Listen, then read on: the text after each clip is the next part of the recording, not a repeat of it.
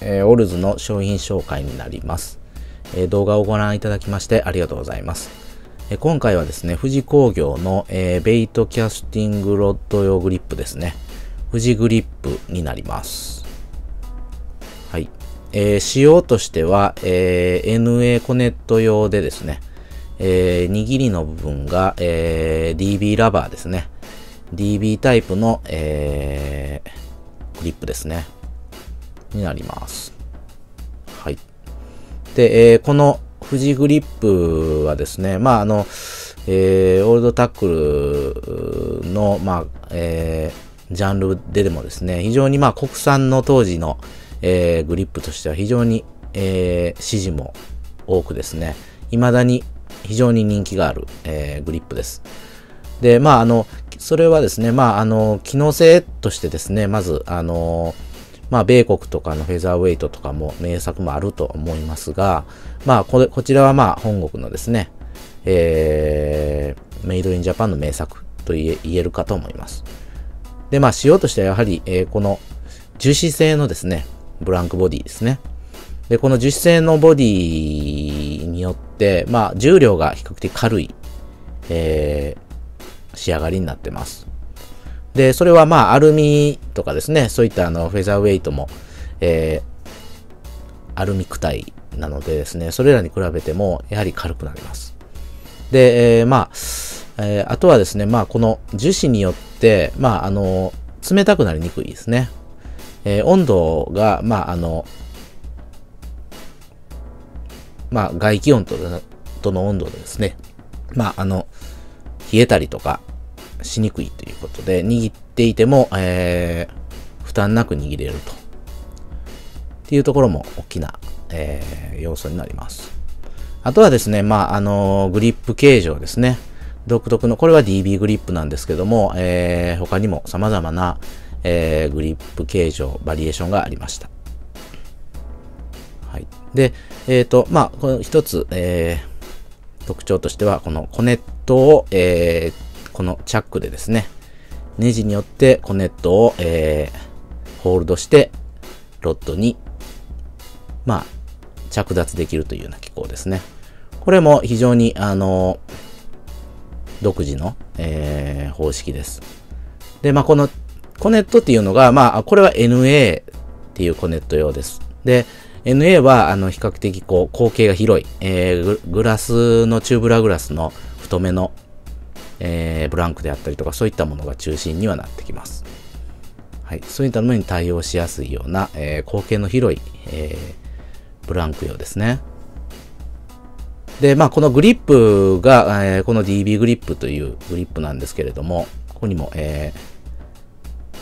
ー、はい、刻印があると思いますが、えー、まあ、あの、このスリット、ダイヤモンドのようなですね、えー、メッシュ状の、えー、スリットが入ったあ独特のデザインですね。で、まあ、滑り止め、握り、握りもですね、非常にこう、えー、握りやすくですね、えー、デザイン的にも非常に、えー、まとまった個性的なデザインかなと思います。で、まあ、この、えー、富士グリップも様々なものがあるんですけども、ここは、えー、リールシートの部分で、富士のオリジナルですね。富士のナイロングラスの、えー、ゴールド刻印がありますので、富士オリジナルのラインのものになります。で、まあ、あの、オリジナルではないっていうかですね、その、えー、米国のルーシャとのですね、えー、スピードスティックなどによく使われてた、えー、ルーシャとの、あのー、ダブルネームのグリップもよく出ていますね。これはまあ富士の、えー、ナイロングラスの印字のあるオリジナルのグリップになります。で、えー、シルバーの、えー、ジャンピングバスですね。のステッカーが貼られております。これもまあ装飾として特徴があります。はい、後ろですね。えー、スクリューですね。スクリューも富士の刻印がしっかりと入ってます。このスクリューを回すことで、えー、この部分ですね、爪が上がり下がりしてですね、えー、リールフットをしっかりと固定するというような形の機構ですね。はい。で、トリガーですね。こんな形ですね。まあ、非常にあの日本人の手にも合いやすいサイズ感で、えー、やはり設計的にも非常に使いやすい、えー、グリップなのかなと思います。はい。で、えー、この先ほども言いましたコネクトですね。えー、このキャップのにを外すことで、えー、中に、えー、パーツが、ホールドパーツが入っているんですけども、えー、このような形で緩めてブランクを取ると。で、えー、締めることでブランクがコネットとともにグッと固定されるというような形ですね。はい。はい、状態なんですけども、状態はあの非常に良好な状態ですね。あの傷とかそういった目立つものほとんどありません。えー、握りのラバーもですね、非常に良好な状態です。えー、劣化とかも特に見られませんので、非常に良好ですね。えー、チャックの部分ですね、もあ非常にスムーズで破損等はありません。中の、えー、パーツも、え、問題なしという形ですね。はい。